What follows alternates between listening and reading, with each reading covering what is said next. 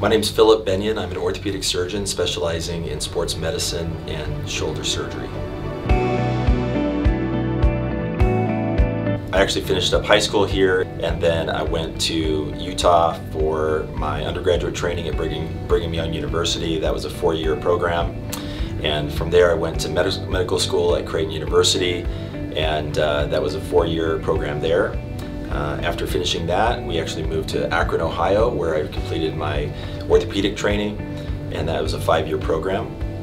And uh, from there, we went to the um, great state of Texas, and I did a fellowship in shoulder and elbow surgery in Dallas, Texas, and that was a one-year program there. Once I finished that, I came back to Phoenix, Arizona and set up practice and I've been here ever since. As a sports medicine and shoulder surgeon, I treat a lot of patients with primarily shoulder and knee issues. I really see my role as keeping patients doing what they want to do. I want people to be able to participate in sports and take care of uh, the daily activities around their house. Patients will often tell me that they actually can't sleep at night and um, that's probably the most common symptom that brings people into the physician's office.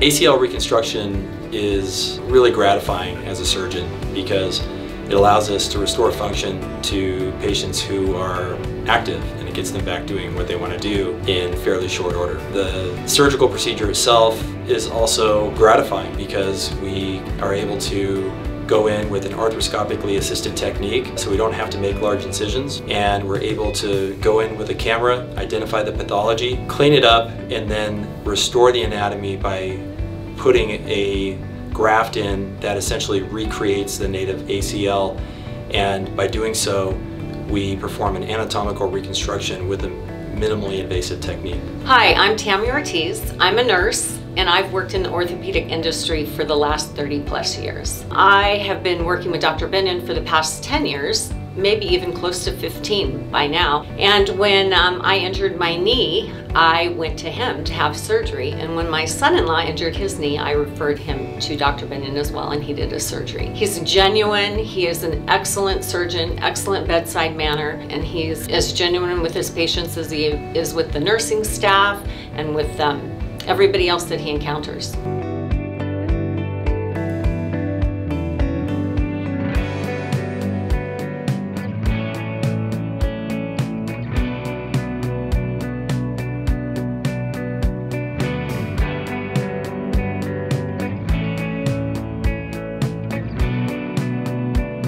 One of the more common procedures that I perform is arthroscopic rotator cuff repair.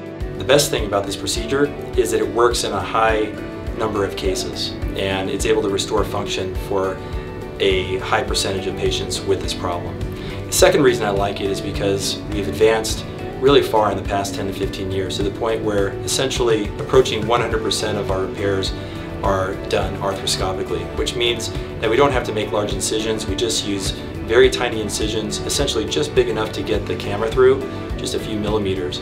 And through that incision, we're able to restore the anatomy by sewing the rotator cuff back down where it belongs, and that restores function. It also is uh, associated with less pain after the procedure, having a lower incidence of infection. It allows patients to go home the same day, and it allows for a faster recovery.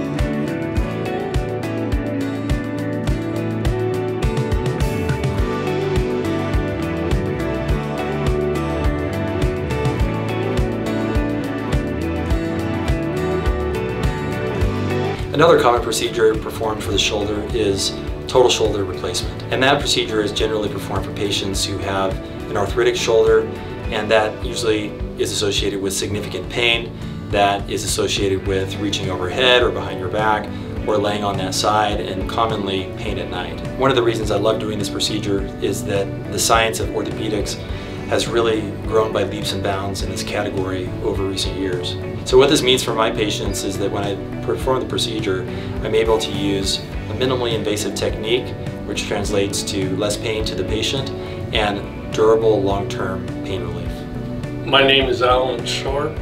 Uh, I wasn't able really to do a lot of anything with my shoulder. He didn't bring up big words that I don't know, you know, or medical terms. He was very good at explaining everything and what it was, what it did, what its function was. I'd say thank you, Dr. Bennion, for, for being honest, being real. You told me exactly what to expect. That's what's happened, and I feel like you've done a wonderful job, and thank you again. I was raised in Arizona and then finished up high school and then I went away for my training and I feel very lucky that I was able to come back to Phoenix with my family and I absolutely love treating patients and living here in Phoenix. In my free time I like to spend time with my wife and two children. We're a pretty active family. I like cycling several times a week including both mountain biking and road biking. I also like fishing, uh, we like to do hikes and um, being in Arizona is a great place to be to take advantage of all that stuff. If you need shoulder surgery, he is the first person I would consider.